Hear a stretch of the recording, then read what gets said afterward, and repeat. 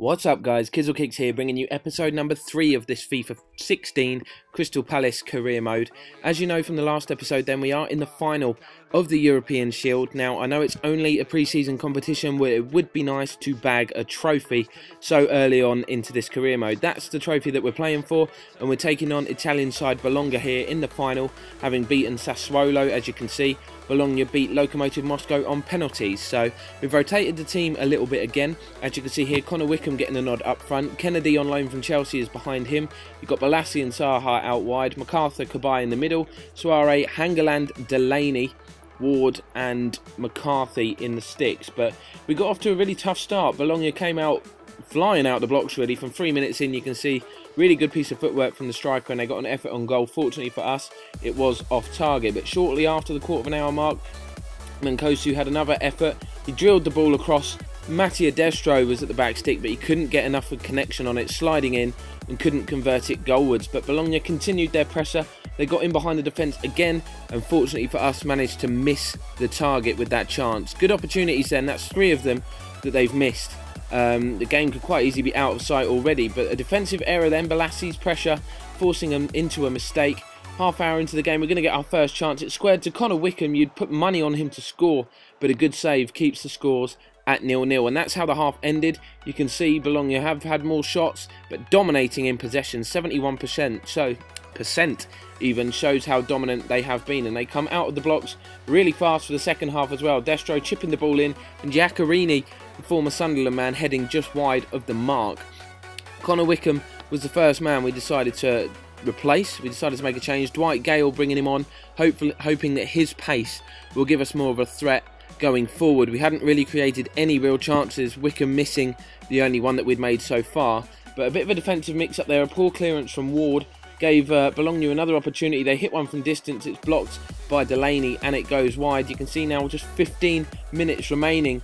Um, we get another opportunity. It's Souaré bursting through down the left. He squares it to McArthur who hits a stunning shot. Looked destined to head for the top corner but just went wide. You can see from the replay, keeper was absolutely beaten. It goes just inches past the post. And despite being on the back foot for most of this game, we did continue to put a lot of pressure on the ball on Bologna when they were in possession and eventually paid off when Souaré won it, slid the ball into the channel. Dwight Gayle gave chase and then put the ball inside for Jason Puncheon, leaving him one on one with the keeper. Could he finish? Absolutely. Four minutes remaining. It's Crystal Palace 1, Bologna nil, and it looks as though we're going to get our hands on a piece of silverware so early on in this career, which would be a fantastic achievement and obviously give us some extra transfer budget to spend. All we had to do was hold out for the remaining two or three minutes. Obviously, Bologna started to throw men forward, you can see Giaccherini played it forward here. A low cross came in. Souaré looked to have it under control, but a poor clearance. Not sure what he was trying to do there. And Destro with the first time finish, equalising immediately. So really, really disappointed with that. And Bologna actually had the opportunity to win it, but I'm not sure what they were doing there. They completely messed up that attack. They had good numbers forward, meaning the final whistle went and the game was going to a penalty shootout. So rather than commentate over every penalty, I'm just going to be quiet and let you watch the shootout.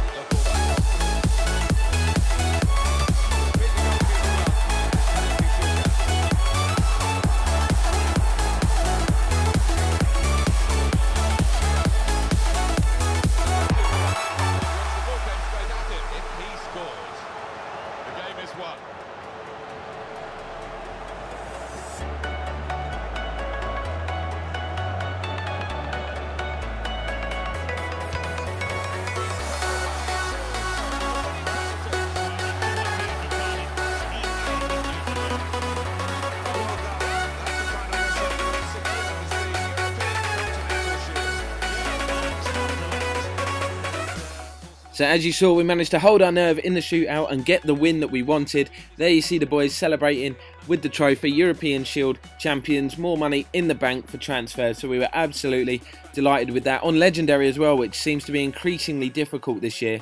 We we're really pleased to get the win. You can see confirmation of it there. Crystal Palace 5-3 winners on penalties. Lovely stuff. So with the tournament finished, it was time to put our business hats back on. All that's left to complete before we take on Norwich in the opening day is some transfers. As you can see, good news, Eric Dier from Spurs has accepted the contract offer that we gave to him and he was going to become our first permanent signing, I do believe, 4.3 million, 32 and a half grand a week. Lovely stuff. Scott Dann out, Eric Dier in. That's the centre back problem solved. Although I would like to get another. Of course, Eric Hovland, we had our offer for him accepted. He sent us a counter offer saying again, I want 45 grand a week or I'm not coming. We decided to up the, the offer to him to 37 and a half grand a week. That's the last, that's probably as high as we're going to go, I think, with that. But um, we'll see how it goes. You can see additional 2.3 million from winning the, uh, the European Continental Shield. And a little message from the board there just saying congratulations, which was a nice touch. So the other centre-back target we were going for, Kurt Zouma, he come back and said he would join if he had a more important role to play at the club. We offered him important first-team status, but he wants to be a crucial first-team player. So we made that happen. I told you we are also looking for a left-back, and our 8 million bid for this, oh, 7 million bid, sorry, for De Sciglio was accepted. 45 grand a week we offered him. Um, important first team player status. He would be a player that we would love to bring in to the club. He's very young but very experienced at a high level. But yes, Kurt Zouma, the man that we offered the contract for our main centre back target, agreed to join. He's just 20 years old. Completely new centre back partnership for us then. Eric Dier and Kurt Zouma. They will be the two starting players come the opening day of the Premier League season. And you can see offers coming in for some of the youngsters now. Kwesi Appiah, we loan listed him. He's got plenty of place, a lot of potential. I don't want to let him go permanently. He joined Coventry City on loan. And Jake Gray, the young 19 year old right midfielder, he joined Fleetwood for the season as well. So that means it's opening day time, Saturday, 8th of August. Norwich versus Crystal Palace at Carrow Road. Not an easy game. You don't know what to expect when you play one of the newly promoted sides. They come in pretty fearless, a lot of pressure. We're going to have a look at the tactics that they're going to play now. You can see they've lined up quite a strong team, really. John Ruddy, plenty of Premier League experience. You've got Steven Whittaker, Sebastian Bassong, Tettey, Nathan Redmond's obviously a very good player, Matt Jarvis, a lot of experienced players in this side. But let's have a look at our own team now. We line up in a 4-2-3-1 formation. McCarthy in goal, Ward and Souaré the fullbacks. New boys Zouma and Dier, centre-back partners. Cabaye McCarthy in midfield. Zaha Bolasie out wide with Sako behind Dwight Gayle who will play as a lone striker.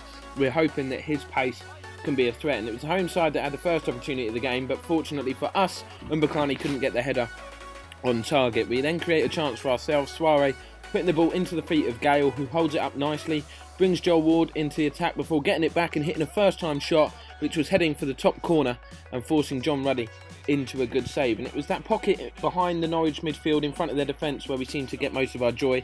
Sako, his shot from distance here um, was never really a threat to, to Ruddy's goal. But Norwich out wide causing us more problems. A good turn inside from Mbokani, hits a fierce left footed shot, but again, it was off target.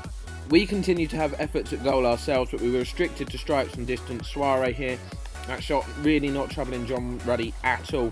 Um, just before half time, a defensive error from Zouma as he tries to prevent the corner um, gave Norwich a fantastic opportunity, and Wes Hoolahan comes within inches, probably centimetres, of giving his side the lead. You can see how frustrated he is with himself there. McCarthy was beaten, but the header went just wide of the mark, and half time whistle um, goes, leaving scores at nil-nil. No breakthroughs thus far. Norwich probably having the better chances of the two sides, but we had a decent start after the break. Cabaye, um, for some reason, finding himself out wide. He has a shot, it falls into the path of Sako, and I thought that flew straight into the top corner, but unfortunately it sailed over the bar. Um, but we pick up possession again. Um, we play the ball through to Dwight Gayle, who's showed his pace here.